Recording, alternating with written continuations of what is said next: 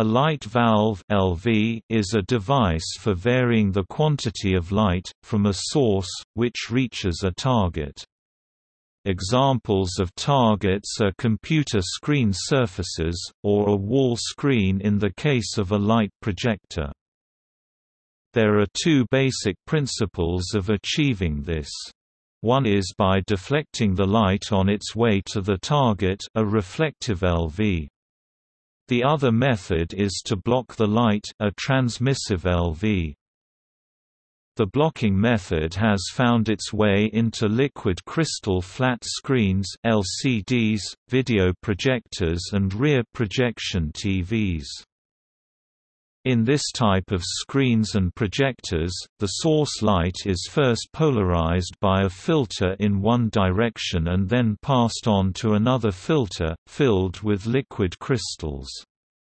By changing the voltage applied to this crystal filter, it will work as a switching polarizing filter, giving different gray scales of the light coming out.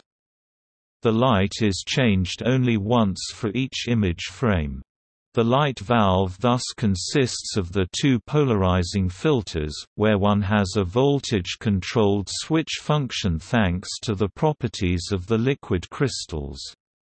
This type of valve is often referred to as a liquid crystal light valve. The other principle, the reflective LV, works by either reflecting the light towards the target or deflecting it away.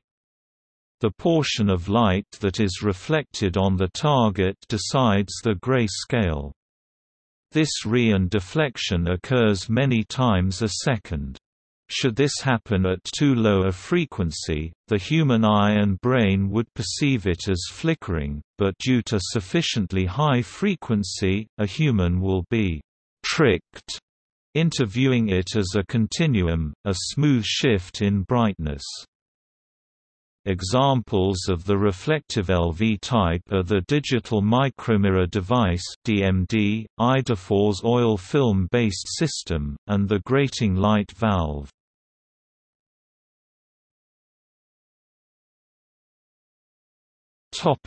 See also Spatial light modulator Femtosecond pulse shaping Multiphoton intrapulse interference phase scan